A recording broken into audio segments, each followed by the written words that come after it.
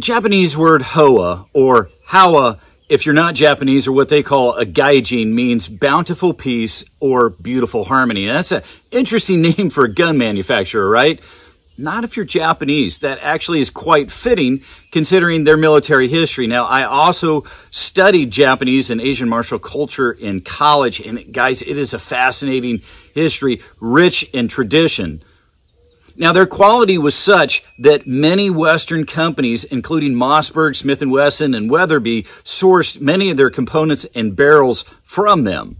Now, unlike many of the gun manufacturers today, they were banned from making military or military-like weapons after World War II, which is why they doubled down then on the hunting market in the West, because that was not part of the treaty and the surrender, and they were able to do that. Now, they have come a long way since then, and now they have a huge variety and options for hunting and long-range competition guns.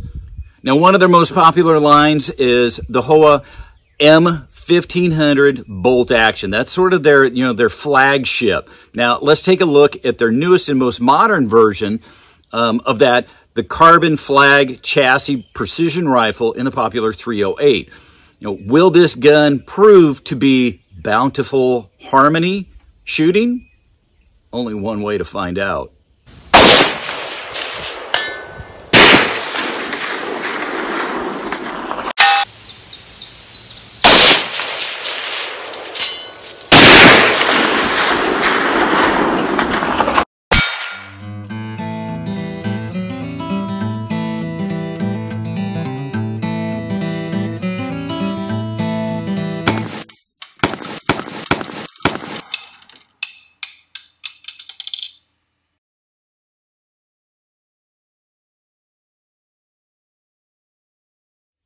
I'm Drew Case. Welcome to Beyond Seclusion, where I'll only give you my honest opinion, and it is what it is. Now, the carbon flag chassis comes in either 6.5 Creedmoor or 308. Now, I went with the 308 due to the cost, cost of the ammo, availability, and the variety ammo that we have with the 308, and I just happen to have a lot of 308 around for my own guns. Take a quick look at what Howa has listed for the specs and tech before we get to shooting.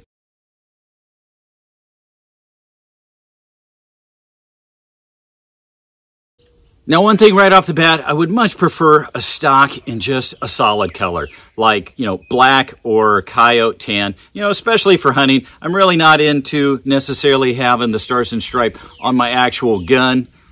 Now, I was not seeing that option. If it is available and I could have just missed it, it wouldn't be the first time. Enough talking. Let's get this zeroed at 100 yards, season the barrel have some fun and see what we can do at distance up there on the hill. We can go out to 500 yards and what we can get for groups using quality ammo. Now, quick note, okay, Howa designs their guns using Hornady ammo and highly recommends specific loads of the Hornady for each gun. Now, to satisfy their sub MOA guarantee, you know, because that's yeah, that's something to guarantee a sub MOA. You have to use that ammo for the guarantee.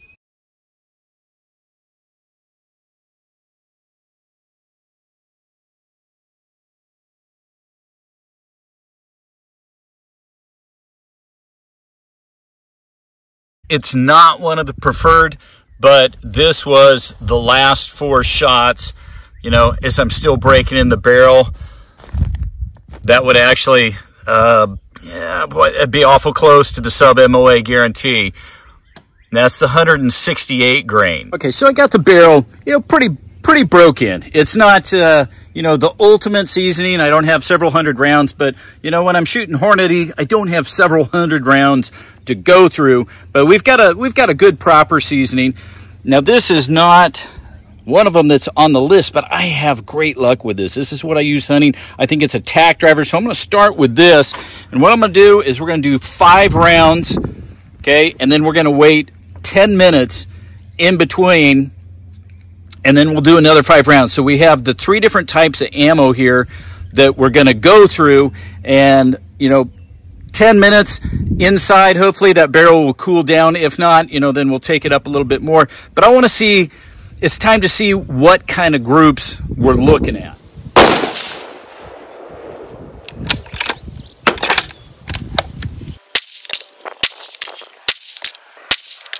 Okay, it's been uh, at least a half an hour. I've got now the 150 grain SST, and that is on the list. Let's uh, let's see what we get for a group on this.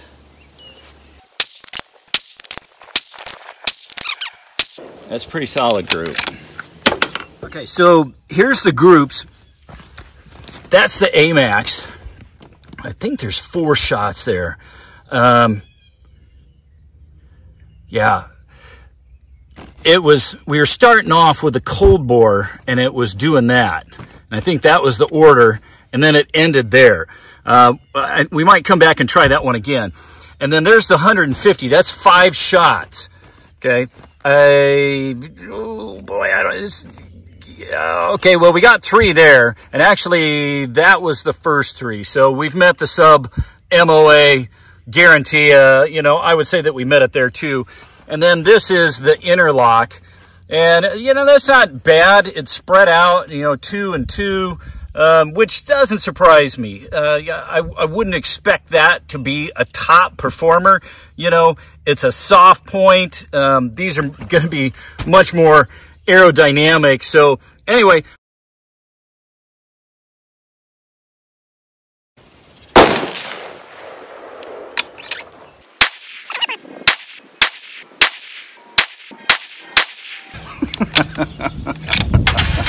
okay, well, this gun, this barrel likes to be warm. It took four shots and on the fourth shot, I was in the bullseye, and then those last three were all touching. In fact, I, we, we need to just stop here, and I need to show you the group. It usually goes the other way. My experience is, is you know, the cold bore shot is the most accurate, um, but yeah, whatever. It is what it is, and we just shot a really nice group. Okay, so. All right, let's go take a look at those groups.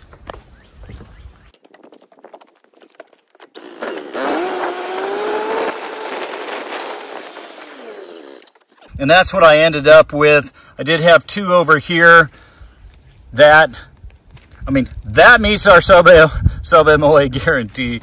So does that, you know, so, okay, so it's interesting, you know, different days, um, different groups. I fired these two groups probably a week ago, and then a storm came in and I had to pull it down. But anyway, that was the 168 grain AMAX. And, you know, it is what it is. That's not one of them that was recommended. Now, this is the 150 grain SST. Uh, sweet, that's five shots. Now, these are all 10 minutes apart. So I fire, I take it inside. Um, and just let it sit for 10 minutes. Buzzer goes off, come back out, fire another round, we do that. So each one of these took 50 minutes to do. This was the last one. This was the 165 grain interlock. Um, that was the last three shots. So, you know, that's what we're getting when we do it essentially cold bore.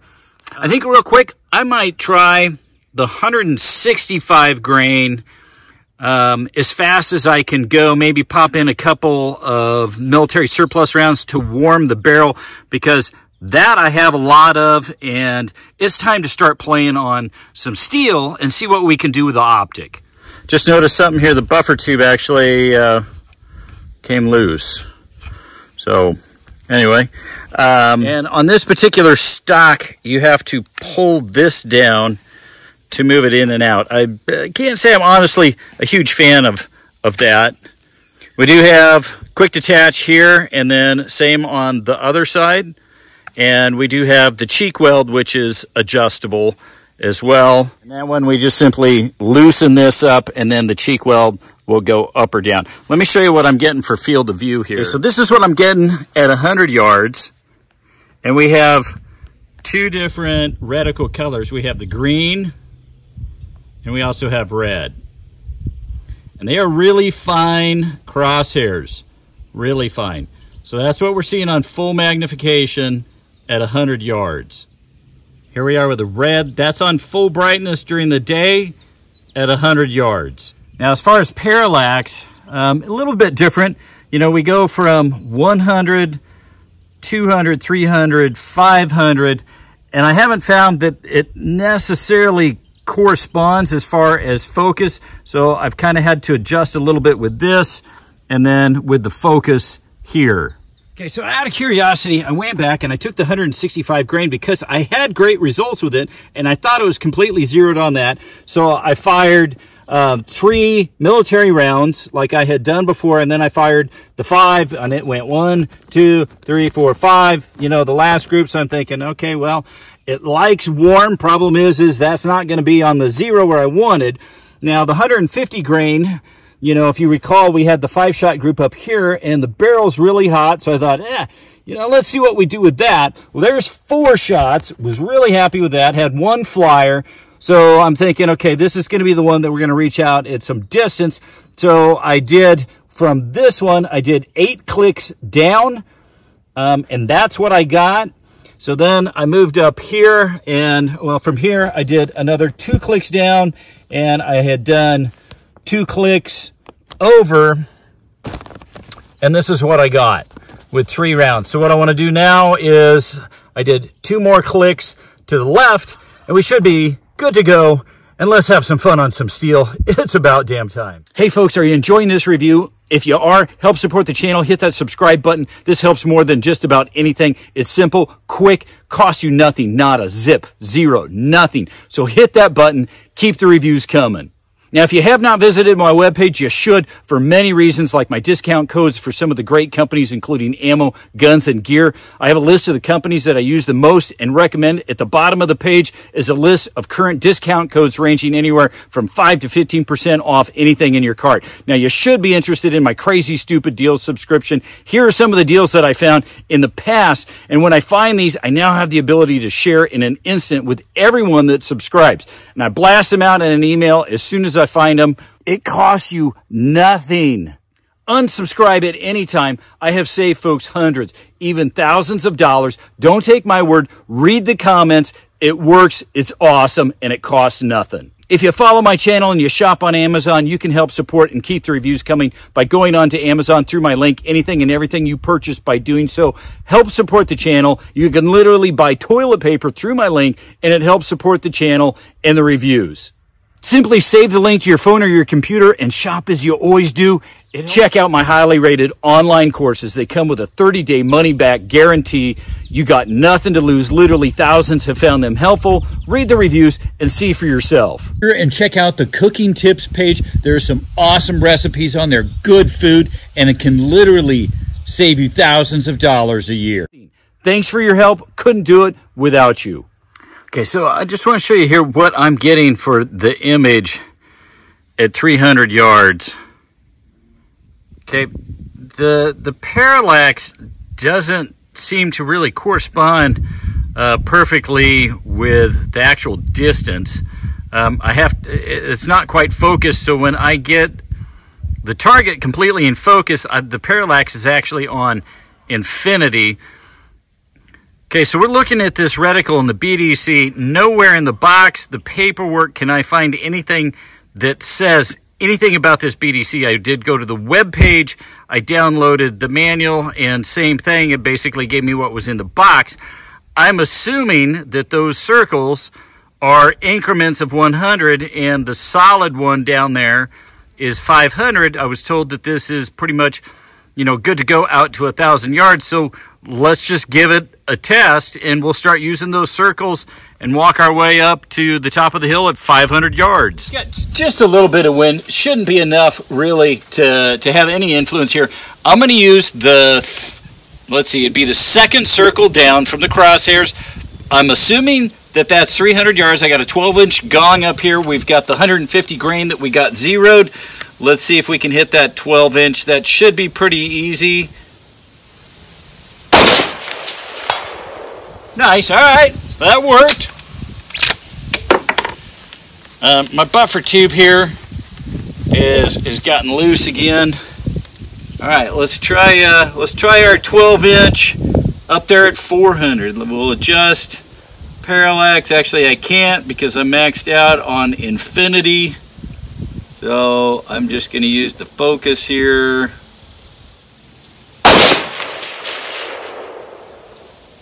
I don't think I hit the gun. Let's try the IDPA.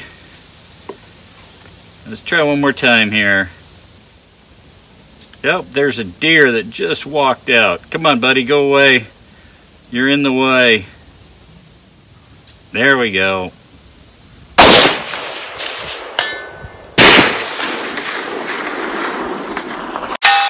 That's 400. Yeah, that deer was like right above the target at 400, so if this thing shot high, uh, I really didn't want to get a deer. Alright, I have to adjust the focus. Again, I'm maxed out. And actually that whole circle would be 600, so this is, okay, we'll go 500 here.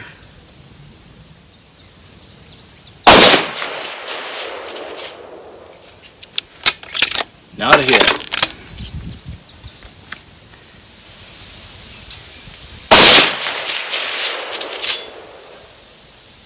Okay, that hit.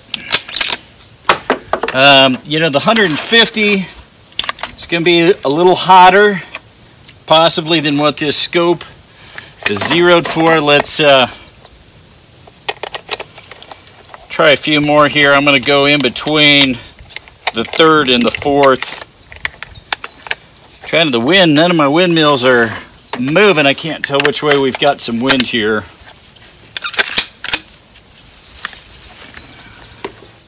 Okay, and I'm shooting for my smaller target up there.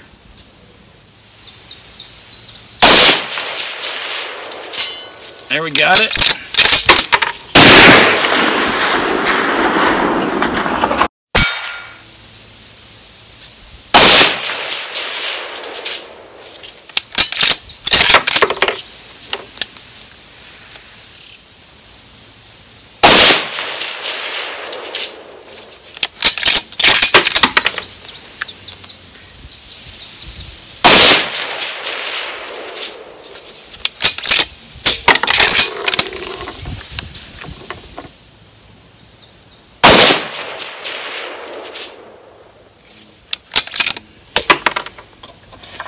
Try one more.